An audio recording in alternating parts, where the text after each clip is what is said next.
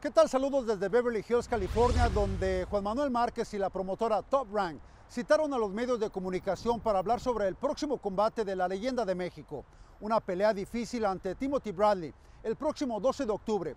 Nosotros tuvimos la oportunidad de sentarnos a platicar con el Dinamita, quien habló de este compromiso, de Pacquiao y sobre un posible retiro. Estas son sus palabras. Manuel, muchas gracias por estar eh, con Deportes Telemundo en vísperas a esta importante pelea. Eh, ¿Cómo va el entrenamiento? Primero, gusto saludarlos. Eh, pues el entrenamiento va bastante bien, empezando a entrenar para esta pelea que es muy importante para mí, porque vamos por un, quinto título que lo estoy buscando y lo estoy anhelando a, a como dé lugar y yo pienso que lo más importante es llegar muy bien preparado física y mentalmente para el 12 de octubre. Eres como los buenos vinos, cada vez estás mejor. Vamos a ver en el futuro más boxeadores como, como tú, como Bernard Hopkins, llegar a una edad más avanzada en la que llegan eh, como que si tuvieran 20 años. pues no sabría decirte.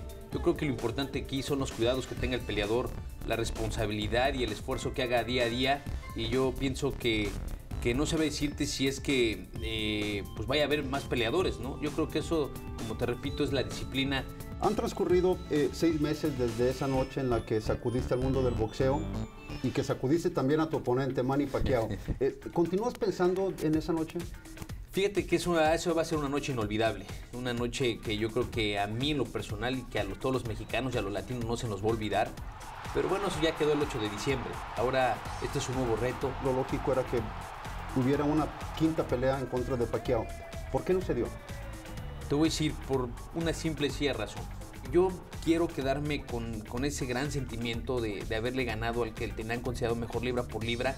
Y como te repito, que también la afición se quede con ese sentimiento. Y cada vez que digan Manny Pacquiao, al que tenían considerado mejor libra por libra, pues fue noqueado por Juan Manuel Márquez, que le habían negado el triunfo en las tres peleas anteriores. El día de la pelea tú vas a tener 40 años.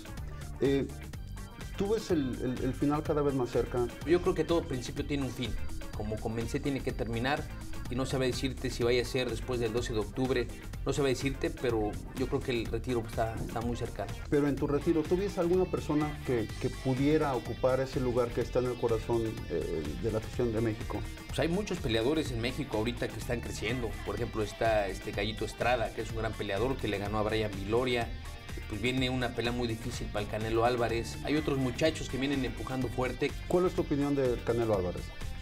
Bueno, yo pienso que tiene un reto importante, un reto difícil, pero eh, de sus 42 peleas que tiene, yo no lo he visto pelear con ningún eh, rival con el tipo de Mayweather para poder medir las posibilidades de que si le puede ganar o no.